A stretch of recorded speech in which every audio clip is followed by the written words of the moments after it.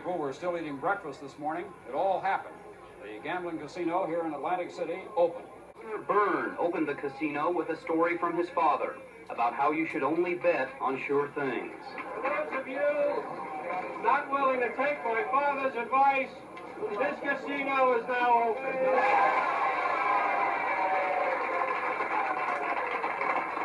With the beginning of the Memorial Day weekend on May 26, 1978, legalized gambling became a reality in Atlantic City, New Jersey. When the gambling house finally opened its doors at 10:30, the people began filing in and were immediately replaced in line by others eager to try their luck. The line extended east on the boardwalk to Maryland Avenue, a distance in excess of a quarter of a mile. The line of people was three and four abreast and caused boardwalk shopkeepers to complain that the entrances to their stores were being blocked. Portable signposts and rope were brought to the scene, and a corridor was set up in the middle of the boardwalk to channel the crowds in an orderly fashion. Some of the visitors tried to enter the line at various points in its length, and arguments began to occur. Additional police manpower was brought to the scene, and by 2 o'clock, some 15 police officers were involved in crowd control. With the arrival of additional police, the line moved smoothly the remainder of the day. The length of the line required a wait of about four hours to enter the casino, but the people remained in line the entire day. Although the city of Atlantic City will never quite be the same again, in a very important respect, it's never changed. Despite the arrival of casino gambling, the beaches are still here, and the visitors who have traveled over the years will still be coming to enjoy the sun and sand. The conventions that have come in the past to partake of the facilities of our city will be back. The boardwalk, the shops, and the piers that have drawn visitors from around the world are still here. The Atlantic City Police Department, indeed the entire city of Atlantic City, is committed to ensure the safest, most pleasant vacation possible to each of our visitors. On May 26, 1978, Resorts International became the first legal hotel casino outside of Las Vegas, Nevada. By 1984, nine more casinos opened, drawing over 30 million people annually, just a few million less than the gambling capital of the world, also known as Sin City, Las Vegas. Unlike Las Vegas, where most gamblers fly or drive in from miles away and stay an average of three days, the millions who come to Atlantic City get there on less than a tank of gas. This gives the casino operators there a captive audience, one that will come back day after day, week after week. Many of them come to gamble away their disposable income. This is the story of one of the many who gambled away their soul.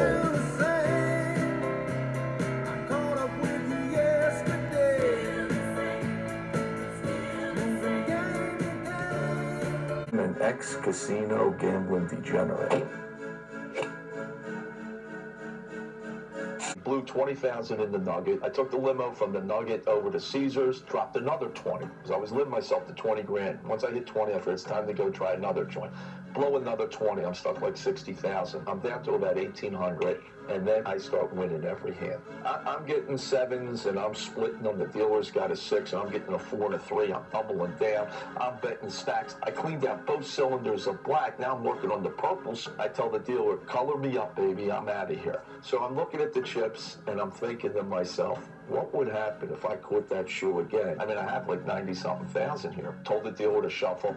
I would say two thirds into the shoe, I made my last $500 bet. Instead of being sick over the loss, I'm already making plans of going down the next day and taking more money out of my safe deposit box to win back my losses because I figure if I can get that one shoe that I had before and I can get 500 to $10,000 a hand, which I'm going to have to bring down 150,000 maybe to do this, I could walk out of there with a quarter of a million. I lost within six months over a million dollars in cash. And whatever money I could borrow, steal, rob. And then I went into the credit system where you can borrow money from the casino in the form of markers. You know, if you take money out of the casino, they don't charge you interest. So why wouldn't I take it from them?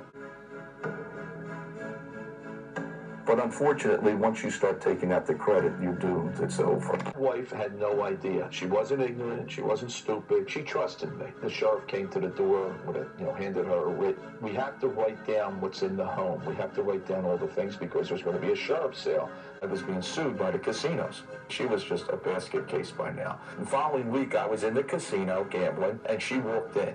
And she says, you got to come home. You got to get out of here. You have to come right now. The pit boys came over and I said, look, you got two things. Either I leave or you get her out of here. He says, that's your wife? I said, she could be a hooker. I don't know. Get her out of here.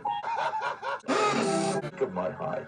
You could have came into the casino and stuck a gun to my head. I'd say, pull the trigger. I'm not leaving.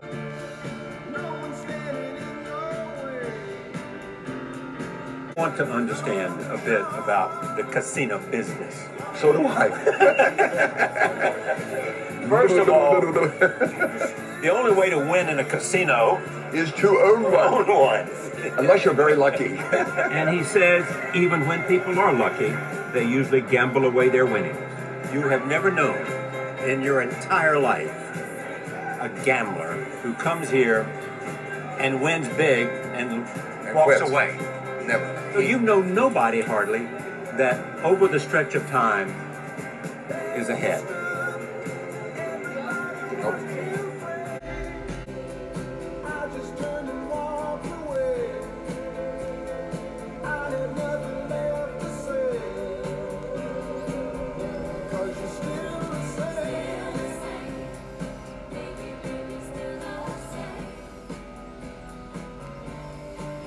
When Ed Rendell was mayor of Philadelphia, he wanted to bring riverboat gambling to the docks of the Delaware River. When he became governor of Pennsylvania, casino gambling was his top priority. In 2004, he got legislation passed to legalize slot parlors throughout the state. The first slot parlor opened up in 2006. A few years later, he signed legislation to legalize table games, making Pennsylvania slot parlors full blown casinos. Bill from Philadelphia, you're on the air. My question, my question's for the governor. Governor, when the casino and racinos open, they will be issuing the, uh, they will be using the total reward card system. This system tracks the amount of money and time patrons spend gambling. This determines the value of the comps patrons receive. Today there is a bill, House Bill 1245, sponsored by State Representative Paul Clymer, that would make the casinos and racinos who are already gathering this information to issue their patrons monthly statements. Sending monthly statements would not bar anyone from gambling and would enable gamblers and their family members to spot a loved one's gambling problem before it gets out of hand. So my question is, Mr. Governor, will you support House Bill 20, uh, 1245 Yeah, uh, the answer is uh, I'd be happy to sign that if it gets to my desk. But I also think that's something that the Gaming Commission can do in its own regulations. From Philadelphia, you're on the air. Yeah, Mr. Corbett, uh, you know, you're, you're talking about scams and probably, well, actually, in the next year or so, the biggest scam known to mankind's opening up throughout our state, and that's casino gambling. And I just heard earlier, which I knew before, that you have nothing to do with governing this or anything to do with investigating the inside operations of the casino. I'm not talking about the crime outside, the investment, all that that comes from the gamblers after they get caught up in this. I'm talking about the everyday operations of this industry. That right now there is not one safeguard or provision that addresses the problem that causes these uh, thefts and uh, embezzlement because of the product itself. And also, how are you ever going to govern this or even have anything to do with it when one of your top men, Frank Dunn, is now chief counsel for the Gaming Control Board? I mean, you know, and uh, what do you know about this industry? Have you looked into how these casinos operate? We've looked into the industry. I will tell you back in April of last year, we went over to New Jersey to see how their gaming industry works, and I became very concerned. Um, you had heard back during 2004 when the legislation was being proposed and, and actually was passed that we were following the New Jersey model. And when I sat down with the Attorney General of New Jersey and his staff to talk about their model, we learned that we were not following the New Jersey model. Let me give you an example in that. Uh, in New Jersey, they have a gaming commission. Well, in Pennsylvania, we have a game commission headed up by Mr. Decker. Um, those people were appointed by the legislature. But in New Jersey, the gaming enforcement comes directly under the Attorney General, who in New Jersey is appointed by the governor, and the state police work with the Attorney General and do the enforcement. They're the ones that do the background checks into all the vendors. Uh, they're the ones that conduct any investigations into allegations of, uh, let's say, cheating within the uh, casino. Here in Pennsylvania, that's not the case. The Attorney General, and this was before I became Attorney General, uh, was not included in that legislation, was excluded in that le- uh, legislation, um, and gaming enforcement was created. Tonight focuses on gambling. It's coming to Pennsylvania. But as Nydia Han reports tonight, along with slots comes controversy about so-called comp or reward cards.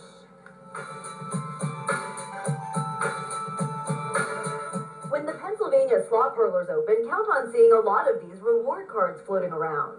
As you play, you stick your card in the machine, and it gives you comp points back. Bill Kearney, a former gambling addict, says the problem is those comp points lead some people into problems. That's their bait to get you in. That's what justifies again your game, your your, your spending. He says the more you spend, the more comps you get, and the more hooked on gambling you become. The problem is that because you're getting something, you won't feel the pain. Last year, Pennsylvania State Representative Paul Clymer proposed a bill that would require casino operators to send monthly statements to all reward card holders, something Kearney strongly supports. This would include your amount of time you played, how much you won, how much you lost. Supporters hope the constant reminder would help people catch a gambling problem before it gets out of control. The person who is spending doesn't realize how much they're spending. They're being treated royally by the casino people. They're getting these rewards, and it's all because they're losing money. What do consumers have to say? I think it'd be better for the consumer if they had a monthly statement so they could budget themselves better. Maybe they would actually see what they're losing. Action News has obtained a proposal by Donald Trump's developer, which says his casino will consider mailing reward card statements to these nearby Philadelphia zip codes on a quarterly basis.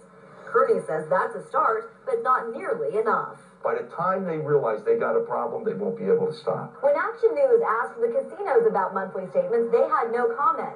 Meantime, House Bill 1245, which would have mandated monthly statements, ended up in a split vote and did not pass. I'm Nydia Han, Channel 6. Action. Bill, go ahead, Bill. Yeah, I have a question for both gentlemen, but more directed to Jerry because he is a publisher in Philadelphia where I live. And Jerry, the question I have for again both of you, in, in another six, seven, eight months, they're going to be awarding out the license and location of the uh, casinos that are opening up, and we're going to have two in Philadelphia. One at the Bud plant, possibly if Trump gets his license. Now that And area- these four neighbors don't stop it. well, well, remember that the neighbors may, may at least the neighbors are trying, Jerry, because Right. not one councilman, councilwoman, senator, uh, representative is is is of color is taking a stance on this. And if Trump gets his, if he gets his license and opens up and does three to four hundred million dollars a year, and if seventy percent of that comes out of that area of people of color who can least afford to be in a casino that's going to be open twenty four seven, serve free alcohol beverages, cash personal and government checks, be comping these people to justify their losses. Why is it the NA, the NAACP, I got it right, why is it that that organization and no organization of color or representation of color is taking a stance on this to protect the people in that area?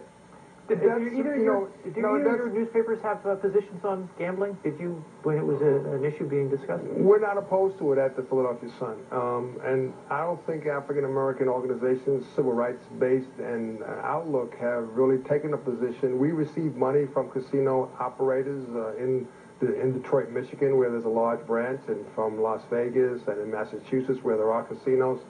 So it's not a position that we've taken as a national organization, um, you know, up or down. In, in Pittsburgh, uh, we, we, we reviewed the issue quite, quite frequently. Uh, there was, there was a lot of opposition, uh, predicated against, um, uh, the casinos, but it became a fait accompli. Mm-hmm. The phone is Pennsylvania Senator Vincent Fumo. We're sorry to be interrupting his dinner. And from our CNA Philadelphia studio, Bill Kearney, a former gambling addict and the author of Comped, about the roller coaster ride of the casino lifestyle. Thank you both for being here. Thanks for having me. Uh, Senator, before your food gets cold, let me go to you. One of the things that uh, a GAO study found about legalizing gambling is that some crime rates, including total crime, property crime, embezzlement, and prostitution, increased immediately in places where they uh, legalized it. Uh, is Pennsylvania prepared to up the policing to see that this doesn't happen there? Well, we're prepared to do that, but I don't think we're going to experience a sharp rise, a sharp increase in those crimes because all of, all around us, on all of our borders, uh, there is gambling going on. In fact, uh, probably one half of Atlantic City's revenue comes from Pennsylvania. So we're experiencing the, the problems that uh, some gamblers would do with uh, embezzlement and things of that nature. In fact, I am the chairman of the board of a bank, and when gambling first came to Atlantic City, we experienced embezzlement with our, some of our younger tellers, and we didn't even have uh, gambling in Pennsylvania. So I, I think we were already suffering the social ills of gambling because of its close proximity on our borders, and our view was if we're going to be having to suffer that, we might as well at least get the revenue from it uh, on the flip side. Mr. Kearney, one of the you have a number of suggestions that you think any states that legalize gambling should take up, and one of them would somewhat address some of those uh, issues of fraud. You, for instance, don't want them to have uh, ATM Right. they things and credit there at the casinos. But, you know, it's awfully strange when you hear uh, Senator Fumo talk about the crime that we've already experienced and his own bank experience from Atlantic City. I mean, doesn't anyone wonder why you would want something like this in your state? And the, and the funny part about it, and uh, what's going to happen in your state also, when the casinos, there's going to be two of them right here in Philadelphia. And right now, Philadelphia is the largest city in the country to host the gaming industry. And when these two casinos open up here, it's not going to, the people who are going to use it are going to be the people, the blue collar workers out of South Philly, Southwest, West, North, Northeast Philly. These are the people who are going to be in these joints day after day, week after week. It's not going to be the representatives, the, uh, the governor, his family, and their family members using this product. Uh, one of the things that uh, a lot of the studies look at is the problem of the addicted or pathological gambler, but we don't uh, regulate all of alcohol sales because of the handful of people that have alcohol problems. One of the things that you think we should do to help stop the compulsive gambler is stop comps. Right. Well, first of all, look, no industry in this country can get away with what these what this industry gets away with. Number one, can you name one industry that serves free alcoholic beverages while doing business? Now, Mr. Senator Fumo's in the banking business. I'm sure he's not allowed to get somebody loaded when he's writing up a mortgage or lending people money. And when he talks about it being so close, Atlantic City is still an hour and a half from Philadelphia. Now, when the casinos, for, uh, 40 minutes, but now what's going to happen to the construction guy, the roofer, on days like today, the rainy days that we get in this area, the bad weather days, when he's hanging out in the bar blowing 50, shooting pool, and buying beer, now he's going to be in these joints because the availability is going to be here. Senator And- Fumo, let me throw it back to you. He makes a good point that if I came in to your bank and uh, signed a mortgage loan, but the whole time I was looking at all the different instruments, you were feeding me highballs and uh, screwdrivers, and I signed a really bad deal, wouldn't I be able to come back to you later and say, wait a minute, I want my money back? He probably would be able to. But, you know, we had a situation like that with Leonard Tose, who used to own the Philadelphia Eagles, where it was alleged that uh, they got him drunk in Atlantic City and lost his fortune. He sued, and uh, the courts found that that was not the case. But I think you brought up the most important point. I can't regulate 99.5% of the population because of a problem of one half percent of the population. Senator Vince Fumo, thanks for uh, joining us. We'll let you go back and enjoy your steak. And uh, Bill Kearney, thanks uh, for trying to help out some folks that uh, may need your help. Leonard Tose made his fortune in the trucking industry. He was the owner of the Philadelphia Eagles from 1969 to 1985. He was a free spending charitable man who liked to smoke, drink, and play blackjack in Atlantic City. He would play seven hands at a time, 10,000 a hand, sometimes doubling to 20,000 a hand. Blackjack dealers said they saw him lose as much as 100,000 on one deal of the cards. For Tose, one thing was certain. He was an alcoholic and compulsive gambler, and the casinos did everything possible to accommodate him. He had his own private table and private dealer. At one of the casinos, he had his own cocktail waitress who was under orders to keep Tose's glass of scotch and Perrier filled at all times. It wasn't long before Tose lost it all. The Sands Casino filed suit to recover 1.2 million in gambling debts. Tose filed a countersuit to try to keep the casino from collecting, claiming that the casino gave him free drinks, knowing he was an alcoholic and compulsive gambler. Tose's former wife testified that Tose could have done anything he wanted in that casino. No one ever stopped Leonard. He was God. Even with multiple witnesses, some being casino employees, saying that they seen Tose drunk at the table and losing hundreds of thousands, the court sided with the casino. Tose lost the suit. If he won, it would have had a far reaching effects on the casino industry. Since 1989, federal courts have allowed gamblers with similar circumstances to sue their, for their casino losses, but no one has ever won. When asked, Tose once said he had no idea how much money he lost. Only the casinos know that. Some close to him say it could have been over $50 million. Tose died in 2003. He was 88 years old. Many will remember him for gambling away his fortune in Atlantic City casinos. And then there will be those who will remember him for bankrolling the Eagles Fly for Leukemia program and being the driving force behind the Ronald McDonald House program, which provides families a place to live while their children are in the hospital. It wasn't that long ago that if you wanted to gamble, you had to travel a long way. Today, to shoot craps or play slots, all you have to do is get in your car. There's probably a casino in your state or right next door. There are casinos now in 38 states, which use the revenue from gambling to help solve their bloated budget deficits. The main attraction at these casinos is now the new slot machines.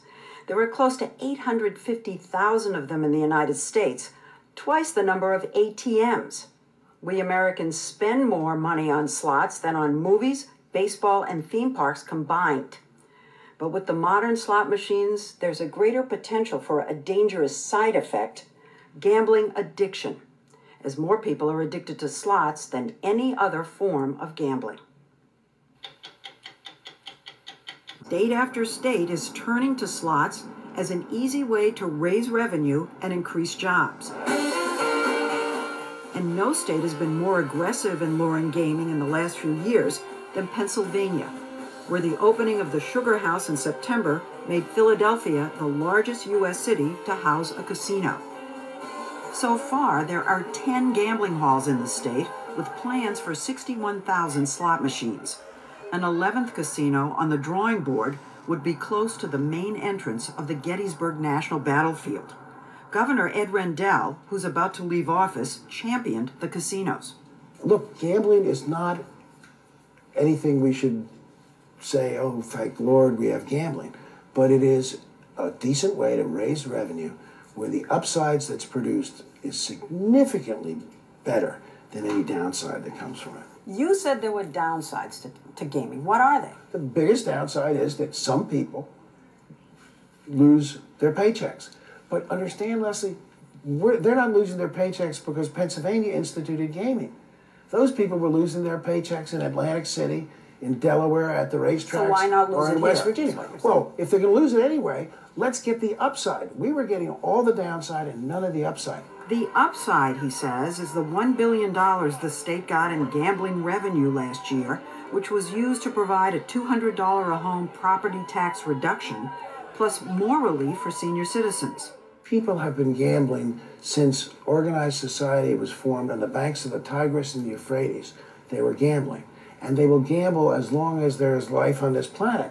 And that's a fact. You brought these casinos to the state.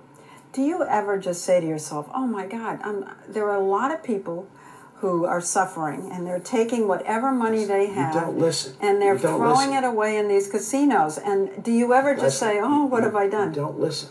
Anyone who has that bent would be doing it in other places had Pennsylvania not legalized gambling. The counter argument is that you're creating new gamblers. But then lots of You're new not gamblers. creating new gamblers. Well, because it's down the street. By, by- I mean, just It's- but they- logically. those people play the lottery. They bet But on they wouldn't football. How much money is bet on the Super Bowl? People are losing money for the state to get its revenue. They're Leslie, losing money. Let me answer this. You have, I've always, I've known you for two or three decades. You're a very smart person. But not now. But you're not getting I'm it. dumb now. You're not getting it. Those people would lose that money anyway. Don't you understand? Our pressing him on this point led to this. You guys don't get that. I do get it. You're simpletons. You're idiots if you don't get that. We couldn't figure out why all the emotion. But his main point was that gambling is good entertainment and people should be allowed to make their own decisions about it. But since the first casino opened in Pennsylvania five years ago, calls to gambling addiction hotlines in the state have tripled. Ahead. Yeah, Governor, you brought into the uh, state of Pennsylvania an industry that has not one safeguard or provision to protect our loved ones from becoming casino gambling degenerates. Now, sitting in Mr. Gottschall's office is House Bill 1245, and I've talked to you about this once before, another time when you were on the station, about this. This bill would make the casino operators and racino operators mail out monthly statements when they use those comp cards, that system they use that collects the information how long the person plays for and gambles and tells you know what type of comps they're going to receive. Now, why is it that this bill cannot be moved onto the floor, and especially when it's something that's going to save individuals and families? And I'd like to know if there's anything you could do to help move this bill, get it on the floor, and get a vote on it. Okay, well, let me, uh, if I can, answer you in two ways. Number one, as you know, the legislature is controlled by the Re- Republican Party, both the Senate and the House. Uh, so I can't move a bill. I wish that I could automatically move a bill to a vote in the House. Uh, I want the minimum wage bill to be voted on, and so far it's been bottled up as well. So to get a bill to the floor for a vote, uh, I suggest that you and, and the folks who feel similar to you contact the Republican leadership in the House and Senate. They're the ones who control whether a bill can go to that floor. Sometimes, if I speak in favor of getting a vote on a bill, it has the reverse effect. So I'm not sure you want me trying to move that bill. Uh, but secondly, I do want to say one other thing about uh, not giving people any help. As you probably know, sir, over a million Pennsylvanians right now leave the state to gamble. New Right, Jersey, I, I know you're going Delaware. say that. No, well, let me finish, please. They leave the state to go to other states to gamble. They gamble away $4 billion. Right now, they can't get help if they become gaming addicted. They can't get help because although New Jersey has a counseling program, it's only available to New Jersey residents.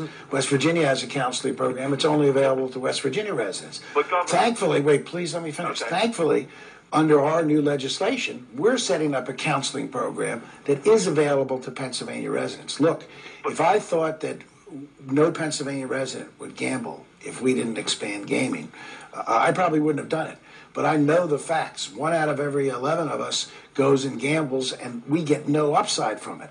We're going to be able to reduce, if the Senate and House do their job in the next three weeks, we're going to be able to reduce property taxes significantly for all Pennsylvanians and wipe it out for many senior citizens because of gaming. But Governor, you're, you're also remember you're talking about after the fact. Everything that's in the gaming bill, and not just Pennsylvania, in both states, addresses the problem after the person has the addiction. There is not one. There's not one safeguard or provision in this industry. Well, again, Not what I'm one. saying- an I'm- 800 sign get help is already the guy's got the problem. Why is it that this nobody is addressing how these casinos are going to operate? But you didn't listen to my answer. My answer is I don't have the power to move a bill to the House any more than you do. It's the leadership. The leadership controls what bills. Anyone can introduce a bill, but it's the leadership in the Senate and the House that determine which bills go for a vote. Bill on the line. Bill, go ahead, please. Thank you. Attorney General, uh, I, you know, I've heard you a few times on this show talking about seniors, and I know you do great work in protecting them, but I have a qu- couple questions. The first question is, have you been to any of our casinos in our state? Because if you have, you would see that 60 to maybe even 65% of all the patrons of our casinos are seniors from that great generation. And these casinos are comping these people. They're serving them free booze while they're gambling. Not all, but some of the casinos ought not to, and some do. But they're also cashing personal checks up to $2,500. Now, they're not cashing it themselves. They're using a third party, a secure check cashing company, to check to cash these checks. And these companies do not check the balance on these accounts. which means they are leaving it open for patrons to cut bad checks and become criminals. But have you been in our casinos? Have you seen what's going on on the, in the everyday operations? I know you have no jurisdictions to do anything about it today. Maybe in the future you will. But what do you think about this? I mean, what, what is your opinion about? That, that's a good question. Uh, short answer is no. I've not been in there. I have no desire to uh, go into the casinos. I'm, I'm not a gambler. Um, I haven't looked there, and you bring up a very good point about who this gaming is really targeted to. It's, it's targeting to to people um, many times on fixed incomes who are going in there and spending it. And it's one of the reasons that I was never a supporter of this. We are uh, raising money for the state on basically what is a sin tax. There's just no other way uh, to put it. Uh, from Philadelphia, you're on PCN. Yes, Mr. Kaplan. The uh, the casinos in our state are allowed to cash up to five personal checks within a 24-hour period. Now they do have a surcharge when they uh, when they do cash these checks. Do they have a banking license? These casinos. I mean, you know, being that they are made charging for each uh, transaction, and also, what jurisdiction does your agency have, or did have any type of jurisdiction or anything to do with what's going on in these casinos with you know with this uh, with these cash in the checks? Well, I knew it was going to happen when I came here tonight. Somebody was going to call and ask a question I have no knowledge of whatsoever, uh, and and it has now uh, happened. I really don't know uh, what relationship, if any, we have with the casinos since uh, I've been in the department. Uh, uh, I've not been exposed to any questions relating to the activities that go on in casinos. my guess is it was prob it's probably someone else, maybe the Gaming Commission, but it's a great question. I'm going to take it back to the state staff at the Department of Banking uh, tomorrow and, and ask uh, for their guidance. Uh, if you want to follow up with this, uh, I uh, mentioned earlier, I apologize for not knowing the answer off the top of my head, but we do have this great hotline at 1 800 PA Banks. give me till tomorrow, but call in and, and we'll see if we can get you a more direct answer. That- Bill from Philadelphia, you're on the air. Governor, you brought casino gambling to our state with no safeguards or provisions to protect our loved ones from becoming casino gambling degenerates. The provisions that are in place, like the exclusion list, the 1 800 Gambler Get Help number, along with counseling and treatment for compulsive gamblers, addresses the problem after someone has the addiction why is it you and your administration, along with our gaming control board members, refuse to address this issue? And if you think I'm wrong about these provisions, then I'm sure you could give me one safeguard or provision that addresses the problem before someone becomes compulsive, a compulsive gambler. Well, number one, it's not like Pennsylvanians didn't gamble before we passed this law. In fact, the survey showed that 1 million of us, that's one out of every 12 of us, left the state to gamble in other jurisdictions New Jersey, West Virginia, Delaware. Um, and if you became gambling addicted in those areas, you couldn't get into their treatment programs or any of their counseling programs because you weren't a resident of their state. So, uh, for that million people who are already gaming, um, they're much better off now because we do have programs. If there are preventative programs that aren't in the Act, if that gentleman will also write me, I'll take a look at it. Uh, we looked at other statutes uh, throughout the, the country to see if there were other programs other than these treatment and counseling programs. And uh, um, I thought the, the Act had as many as that we could find that were beneficial. But if there's somewhere missing, if that uh, uh, gentleman, uh, again, takes advantage of contacting us through the PCN contact numbers, I'll be happy to take a look at it. And we Credit. If you're short on cash to buy chips, the casino will give you a line of credit so you can play on. Casinos call it a convenient service. Others call it downright dangerous. Katie investigator Andy Sheehan is here now with what he's uncovered. Andy. Well, Rick, under table games legislation, you could be eligible for tens of thousands of dollars of interest-free credit from the casinos. The casinos say this credit is a matter of convenience for their clients, but one gambling addict turned anti-gambling advocate says casino credit is a slippery slope. In the 1980s, Bill Kearney was a rich man until he was seduced by the allure of the Atlantic City casinos. When you walk into those buildings, they're glamorous. There's no windows, there's no clocks. They're open 24 7. They're serving free booze. Never before a gambler, Kearney started with $5 a hand blackjack but soon found himself at the casinos round the clock, with the big boys at the baccarat tables compulsively burning through his fortune. went through my money, then the money I could borrow from the banks, the money I could get off my credit cards, and after I exhausted every means of funding my addiction from my own end, is when I went to credit with the casinos. He blames himself, and says he was helped along the way by the availability of interest-free credit offered by the casinos, something now available to gamblers in Pennsylvania as part of the table games legislation. Kearney, who today keeps a scrapbook of all his counter checks for the casinos, and a letter from Caesar's Palace saying he owes them more than $400,000. Others will follow in his footsteps. When they get into the credit, a good percentage of people are going to go south. And when they go south, remember, it's not just the gambler who gets hurt. It's his loved ones. Could be his parents. Could be his sisters and his spouses. Could be his children, his grandchildren. Bill from Philadelphia, you're next. Yeah, Governor, are you aware that our casinos are open 24 7? They're serving free booze. They're cashing personal checks up to $2,500 in a 24 hour period. And they're comping their patrons in order for them to justify their gambling losses. Now, today there are two bills, one in our House of Representatives, House Bill 783, and one in our Senate, Senate Bill 423. These bills will make our casino operators, who are already tracking their patrons' money and time spent gambling with comp cards, to send monthly statements. This would enable gamblers and their family members to spot a loved one's gambling problem before it gets out of hand. So my question to you, Governor, are you aware of this legislation? And if so, do you support it? Well, first of all, uh, the state police make reports to the legislature and myself regularly. The state police are in every casino, and they have not reported a pattern of activity like you stated. And we have state police in every one of the seven venues that are open. So I don't know where you're getting your information from, but the state police reports don't reflect that that is accurate. And I don't think the state police would uh, would in any way or, uh, shape or form uh, make their reports in a way that isn't consistent with the facts. So that's number one. Number two, as you know, we have a, a, a, a mechanism now to give anybody who feels they have a problem with gaming or that they're sustaining too significant a loss to give them counseling and help. We put over a million dollars and made it available to those programs, and those programs have gotten uh, very little use up to now. Uh, so uh, the predicate to, to this legislation is not something that I've seen any evidence about. Uh, I'm happy to consider evidence if there is, and based on this call, I will check again with the state police. Um, so uh, um, I, I, don't uh, have an opinion yet as to whether I would sign that legislation or not.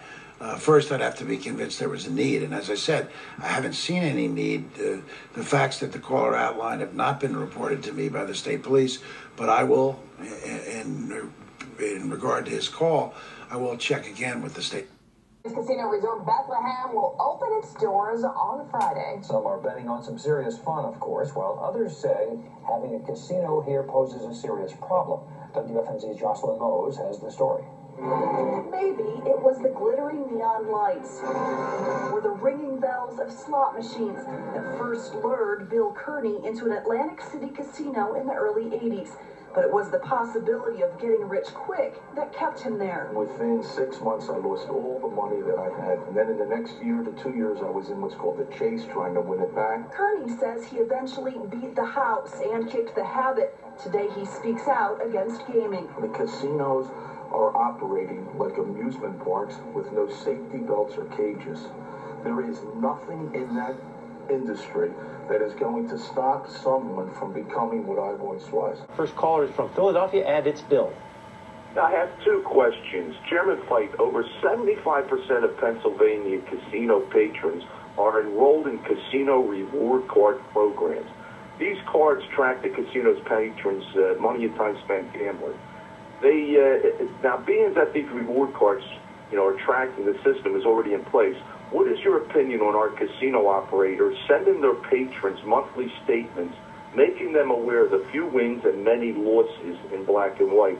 And for my second question, do you think our casino operators or their employees should intervene when one of their patrons, who they're tracking, is gambling 7, 8, 9, 10, or up to 15 to 20 24 hours nonstop and losing thousands of dollars. Uh, Bill, uh, to your to your first uh, point, I mean the the casinos themselves can send statements or not, and and again, I know that uh, that you've called before. We've had that this discussion before. Uh, it's no different than a uh, a patron in a bar or somebody who goes to a restaurant who who uses their credit card. Uh, those folks know who is uh, uh, going into their establishment. It's the same with a casino. Uh, most businesses simply don't send out monthly statements telling people how much they're spending in the restaurant uh, every month or how many movies they're going to or anything of that sort. As to your second point, and I know I know your issue is compulsive gambling, and, and that is something that we at the Gaming Control Board take very, very seriously. And I can tell you, Bill, and tell the viewers, the casino industry does not want compulsive gamblers in their uh, casinos. Uh, if, if there are stories about people uh, committing suicide or people that are losing their homes or people that can't send their kids to college because they lost money in a casino, the casino does not want those stories in the newspaper. It's a, it's a black mark on their uh, image, and uh, trust me that uh, they are all about people coming in there having an enjoyable night. If they want to come a couple of nights a week, that's their prerogative. It's an adult uh, entertainment venue that the legislature and the governor has have legalized. But these casinos do not want compulsive gamblers Uh, in their halls. Well, new today at 4:30, Pennsylvania lawmakers postponed action today on legalizing table games in Pennsylvania's casinos. Governor Ed Rendell is frustrated. The issue is still unresolved, and he warns there could be more program cuts and layoffs without that legislation. And now, a provision in the bill to extend lines of credit to gamblers is drawing fire. Eyewitness News reporter Jim Osman is live in the news center with all the details on this one. Jim. Hi, Susan. It's a reality for some gamblers. You've maxed out the credit cards, drained your debit card, and turn to the house for a little help.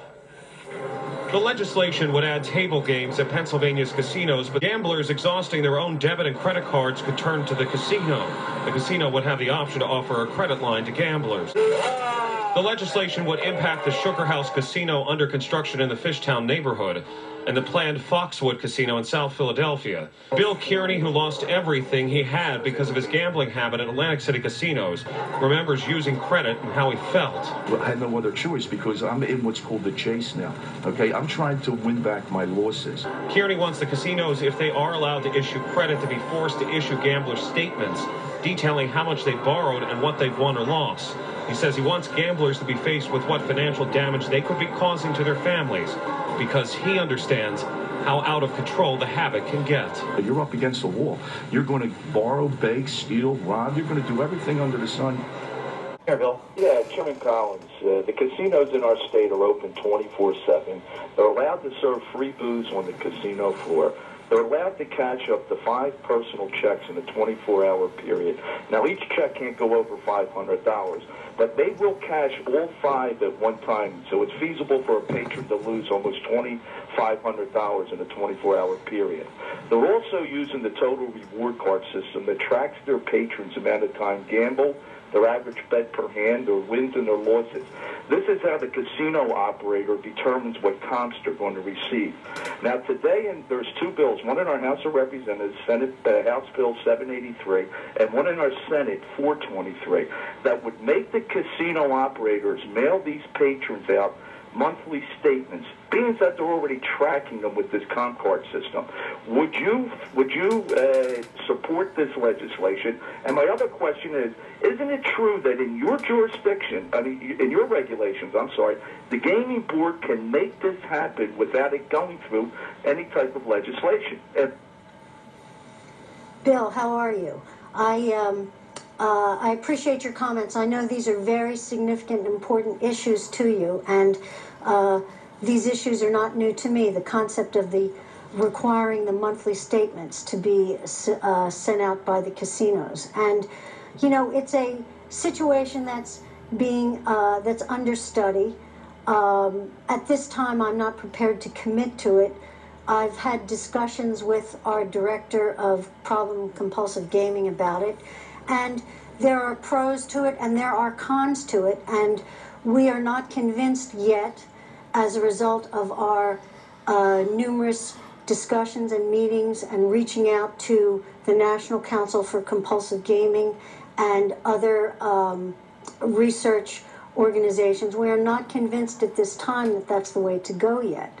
But, uh, you know, we are always trying to address these issues in the best way possible, and we will continue to look into it and to do what we think is the best for the citizens of the Commonwealth. You've been pitching for a long time now the benefits of gaming in our state. You always bring up the amount of money, dollars, the tax, the tax benefit that's coming from the gaming. And remember, all these money you're talking about are losses in the casino. And these losses are mostly by Pennsylvanians. Now, I know for a fact that you personally don't gamble in the casinos or any casinos. Either does 99.9% of our government body. But yet this is so beneficial. But besides that, Governor, do you remember a, a legislation that was put forth then for the last four sessions in our House and our Senate that would make our gaming operators mail the patrons who are enrolled in their what's called the reward card programs casino monthly statements. This is about this this is about 80 to 90 percent of all gamblers in our casinos are in these programs. What is your opinion today of letting the consumer know, because there is no consumer protection in this industry, letting them know on a, on a monthly basis their, their wins and mostly losses?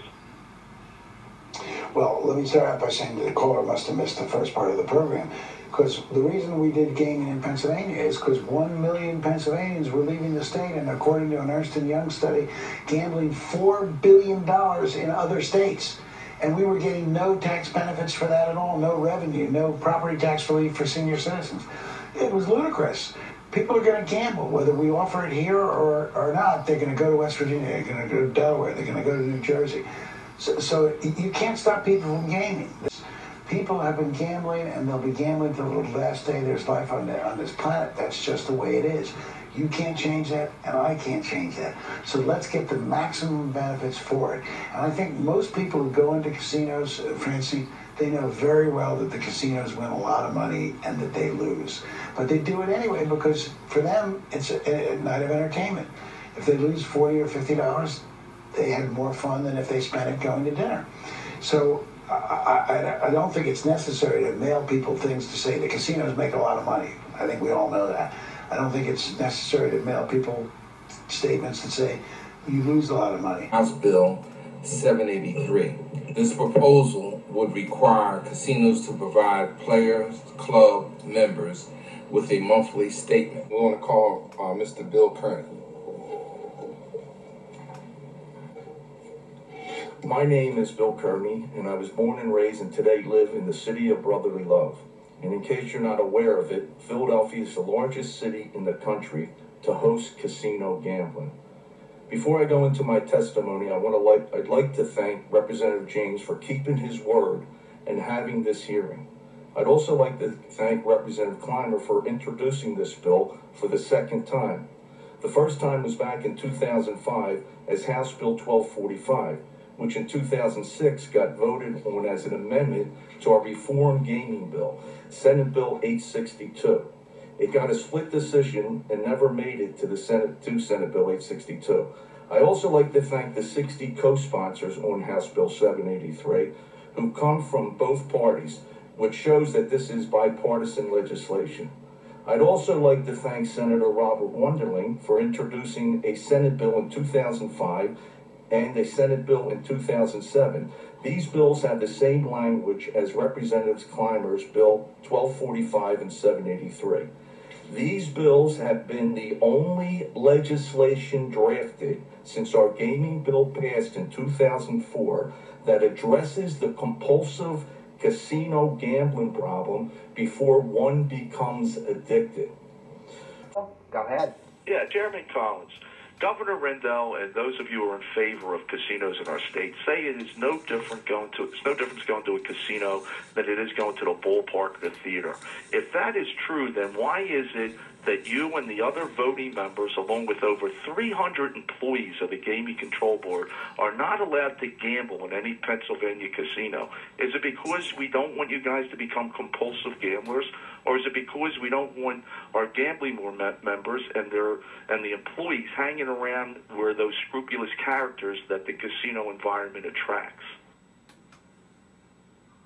Well, I don't think it's either of those things. I think it's uh, it's only appropriate to avoid an appearance of impropriety or what would be an apparent conflict, which would be to have the regulators uh, in facilities which they are in fact regulating and gambling. I think it's more of a uh, an appearance issue and also uh, a way of avoiding any potential conflicts. Um, and that would be the reason, in my estimation. All right, and uh, go ahead on line one, please. You're on. Yeah, Jeremy Collins. Uh, our casino. Uh, Uh, sir, I regret to tell you that your call is not welcome and we'll spare you the embarrassment and not say your name on the air this time. We know you have a history of calling our program under different names and phone numbers. If you can't represent yourself honestly, please do not call us. It's an abuse of our process and a waste of everyone's time. Philadelphia and uh, Bill, you have the floor. Yeah, Senators, are either one of you uh, familiar with Senate Bill 423? This bill will make our casino operators who are already tracking their patrons' money and time spent gambling with comp cards to send monthly statements. This would enable gamblers and their family members. To We've taken too many calls. I, I, I warned you last week, Bill. Uh, stop calling uh, our, our program and pretending to be somebody else. Bill in Bucks County. Bill, you're with Governor Tom Corbett. Good morning. Yeah, Governor, good morning. Hey, Governor, today, today we have mm-hmm. 11 casinos operating in our state with absolutely no consumer protection. Excuse me, excuse me, Bill. Excuse me. I'll let the governor answer. But Bill, you know what? Never call my show again. You called in. And fine. called something the governor talked about. Excuse me, was- Bill. Bill, excuse when he was me. Attorney General, he right, I'll let the governor answer. But Bill, here, here's the thing, Bill. If you want to call in on that, tell the screener. Don't lie and call in a Fine, voter You ID. won't let me on because you won't face this. Nobody wants. I'll let the governor testify. answer. I'm just, I'm just Governor, telling you as a wanna answer this. policy. He still supports the casinos All right. their patrons monthly statements. All right, I'll ask the governor. I'll let the governor answer. I didn't hear the question. Go ahead, right ahead again, Bill. Ask it again. The again. question is, Governor, I talked to you about this when you were the, when you were the Attorney General. In our casinos today, I mean, in our House and in our Senate, has been legislation that's been put forth in the last four sessions that would make our casino operators mail the patrons who are enrolled in the reward card program monthly statements. Now that accounts for about 85 to 90 percent of all Pennsylvania's gambling in our casinos. These statements will enlighten the, the gamblers of the amount of money and time they're spending. Now I'm asking you if you support this, and if you do, this legislation is sitting in the Senate today. It passed through the House. Okay, we This got your question. Thank you. Bill. All right, thanks, Bill, very much for the call. Thank you, Bill. Governor, if you'd like to answer, that'd be fine. Bill, yes, I do. I I think I said that a long time Okay. ago. Uh, I was never a fan in 19, excuse me, in 2004 uh, when I was running for Attorney General for the casinos. The casinos are there. Uh, they are bringing money uh, in, into Pennsylvania, but I think it's a good idea if people know how much money they're spending. Pat, thank you. Law enforcement officials are trying to figure out why a 64 year old man with no criminal record would open fire on a concert in Las Vegas Sunday night.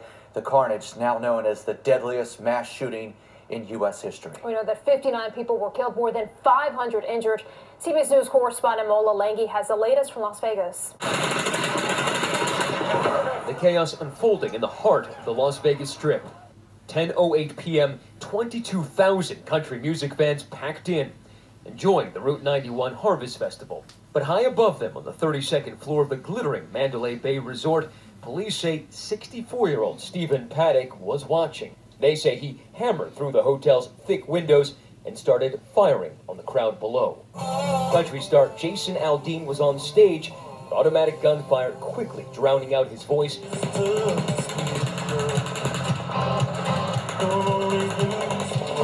Music stops and he runs off stage.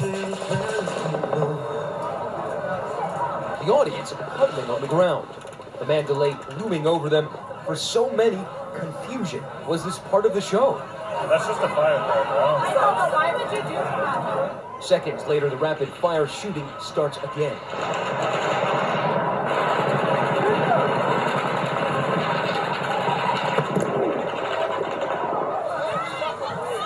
Terrified people pile on top of each other, sheltering behind anything they could. But they were in an open field, easy targets for the gunmen in the tower. I don't know where to go. Oh my god. Thousands looking for safety anywhere, even a stranger's car.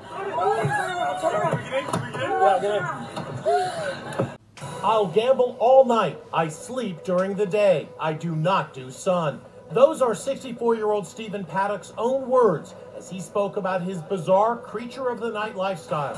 In a deposition he gave in a 2013 lawsuit over a slip and fall accident in the Cosmopolitan Hotel in Las Vegas, Paddock called himself the biggest video poker player in the world, gambling up to a million dollars in a single night.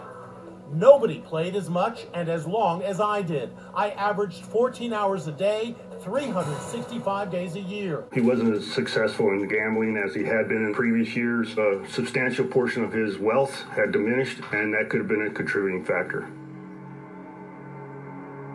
If you're going to condemn Steve for being a high stakes gambler, the hotels are not going to be very happy with you. Go find everybody. Go find everybody and interview them who has a card. If you're going to call Steve crazy for gambling the way he gambles, go find everybody at the hotels who has a. Have the hotels tell you everybody who's got a gold. You know, he's got the highest level of membership card at, at a lot of these hotels. If these hotels say they don't know Steve, they're lying. This is a man who behaved rationally, privately, a little introverted, liked to play video poker, but he was a rational man. And yet he prepared, over an extended period of time, a totally irrational act. Now, this sounds like someone either totally demented, a behavior which he never evidenced, or someone who's sending a message. This is a plan.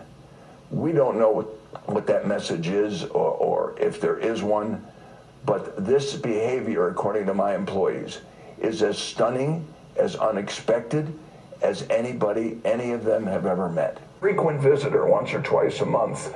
He's been staying in Las Vegas since 06. So we, you know, we're talking about 11 years. Picture of Steve holding a $250,000 check signed by Steve Wynn. When Steve came in, they said, Oh, we've got your room, Mr. Paddock.